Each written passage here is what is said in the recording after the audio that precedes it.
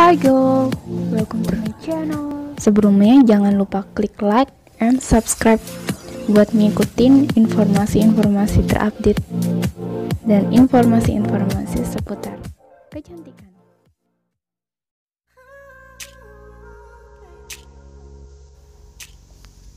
Oke, yang pertama kita lakuin adalah kita siapin dulu pewarna merah atau kalian bisa pakai mawar merah Terus abis itu kalian bisa ulek mawarnya, kalian ambil warnanya. Jadi tujuannya di sini adalah ngambil warna merah itu sendiri. Kalian kalau nggak mau ribet bisa pakai pewarna makanan atau pewarna tekstil, jadi nggak masalah.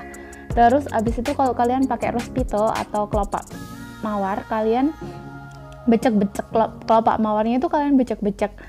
Terus sampai ngeluarin air dan warnanya merah. Nah setelah airnya itu warnanya merah, kayak gini kalian bisa ambil pakai pipet. Kalian ambil semuanya semua air mawarnya itu pakai pipet ya yang ada yang ada bulatannya di atas. Jadi semua ketampung di situ kayak gini. Nah kalau semuanya udah kalian sedot udah kalian taruh di sebuah pipet itu tadi selanjutnya kalian bisa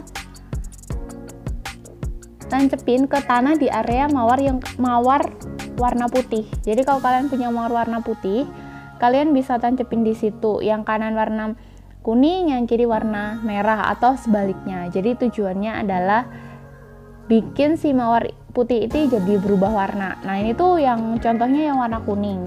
Untuk yang warna kuning, ini tuh kan kayak gini kan.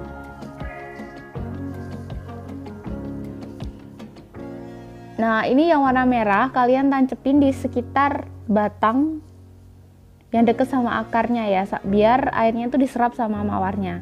Nah, ini tuh airnya udah diserap sama mawarnya dan mawarnya udah berubah warna. Terus semakin lama, semakin hari warnanya tuh semakin kelihatan. Ini yang warnanya jadi kuning sama warnanya jadi orange. Nah, setelah itu kalian tunggu beberapa hari. Nah ini tuh lama-lama tuh lebih orange lagi gitu. Nah setelah agak orange lagi ini tuh udah orange banget. Terus kalau warnanya udah sesuai kalian bisa cabut pipet kalian itu tadi ya. Kalau warnanya udah menurut kalian udah pas. Nah di sini ini udah warna-warna kuning sama warna orange. Nah jadinya tuh kayak gini. Kalau kalian bisa nambahin warna. Kalau kalian suka warna lain kalian bisa tambahin warna lain dan kalian siramin ke si mawar itu tadi. Biar apa? Biar warnanya sesuai apa yang kalian inginkan. Oke selamat mencoba